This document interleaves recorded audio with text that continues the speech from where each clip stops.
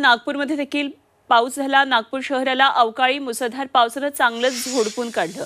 शहरातल्या काही भागामध्ये जोरदार गारपीट देखील झाली. चार दिवसांच्या तीव्र उष्णतेनंतर हा पाऊस झालाय. पावसामुळे उकाड्यापासून नागरिकांना निश्चितच मोठा दिलासा मिळालाय.